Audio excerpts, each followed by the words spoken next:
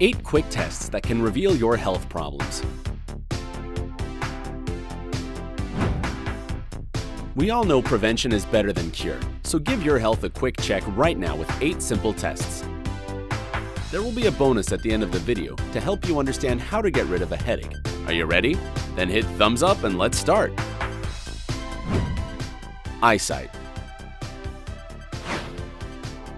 Amsler's test helps identify macular degeneration, a condition that makes the eyesight less sharp.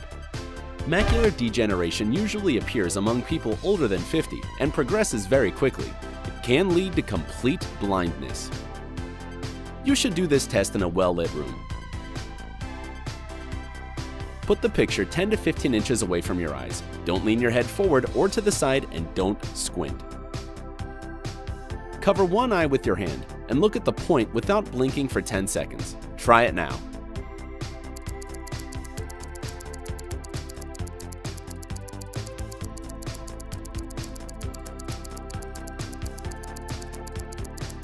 Ten seconds are up.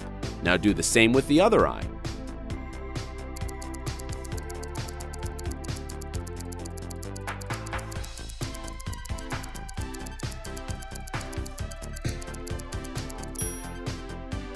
If all the lines are even, without any distortions, cuts, or gray spots, it means that your retina is perfectly healthy.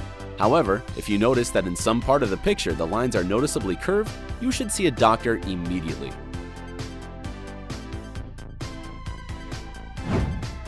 Stamina Intense physical exercises are not recommended for elderly people and people who have some cardiovascular conditions. Before you do any physical activity, you should perform a few simple tests. Find your pulse, count the beats per minute. Now do 20 squats. I have faith in you. You can do it.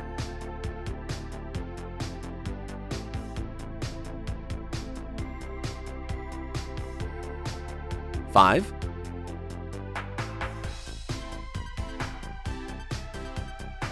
10,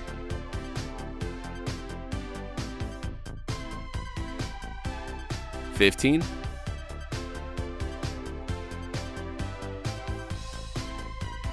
20. Done. Good job. Count the pulse again. If the number of beats increased by 25%, it means that you are absolutely okay. If the difference is 25 to 50%, it means that your cardiovascular system is weak. If the number of beats increased by more than 50%, warning, you need to see a doctor. You might have a developing condition. You can't run this next test in the room, but make sure to try it today. Walk up to the fourth floor. Don't run, just take the stairs. Walk calmly but not slowly. Find your pulse and count the beats per minute. If your pulse is around 120 beats per minute, you're okay. If your pulse is more than 120 beats per minute, or you started panting or experiencing chest pain, you should see a doctor.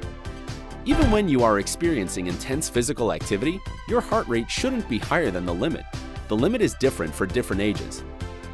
To calculate your own limit, subtract your age from 220. For example, 220 minus 40 equals 180, which means that your heart rate shouldn't be higher than 180 beats per minute.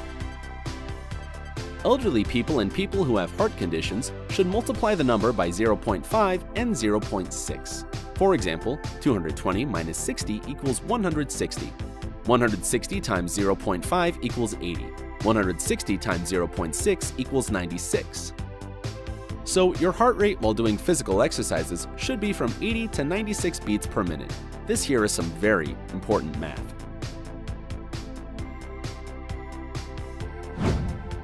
Posture Stand naturally and ask someone to watch you. If your back becomes more round by 45% or more and your hips come forward, this indicates a serious spinal curvature and you may have kyphosis. A curve on your spine also indicates that there is something wrong with it. In this case, you should see a doctor to get the exact diagnosis and treatment. There is another simple test that can indicate that you have a rounded back. Take two pencils or pens in your hands and put your hands down alongside your body. If the pencils are parallel to each other, it means that your posture is fine. If the pencils point at each other, means that you have a rounded back. Ask someone to watch you or to take some photographs of you.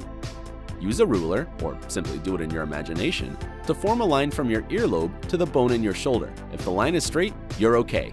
If the earlobe is a little further than the bone, it indicates that you have problems with your posture. Nowadays, almost everyone has a rounded back. It is often caused by a sedentary lifestyle. In order to set your posture right, try to keep a straight back when working and do special exercises. Why don't we try one of those exercises right now? The prone Y extension exercise will help to strengthen your upper back muscles, which are responsible for good posture. Get down on the floor. Your legs should be shoulder width apart. Make a Y out of your body, stretching your arms over your head. Now, try lifting your torso. At the same time, rotate your shoulders so that your palms look up. Stay like this for 5 to 10 seconds. Do 3 sets of 8 repetitions. Let's try it once again now. Make a Y. Now, rotate your shoulders. Remember to keep your back straight. You can also try doing this exercise facing a wall.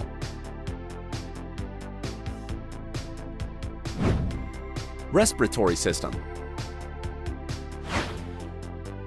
The following tests will help you evaluate the functioning of your respiratory system, the oxygen distribution across your body, and find out if you have any problems with blood circulation. Get a timer on your phone ready. Sit down and take a few deep breaths. Breathe out, and take a deep breath and hold it. Now set the timer. It's better to hold the nose with your hand. See how long you can hold your breath. The normal result for a healthy person shouldn't be less than 40 seconds for men and 30 seconds for women. After 5 minutes, take a few deep breaths again, and then hold your breath after you fully breathe out. A healthy person can spend 25 to 40 seconds like this. By the way, athletes have higher results, so using your result, you can estimate how trained your body is. Hearing test. You can find out if you have hearing that's worse than average, and you have reasons to be concerned about it by taking our hearing test we've shared in this video.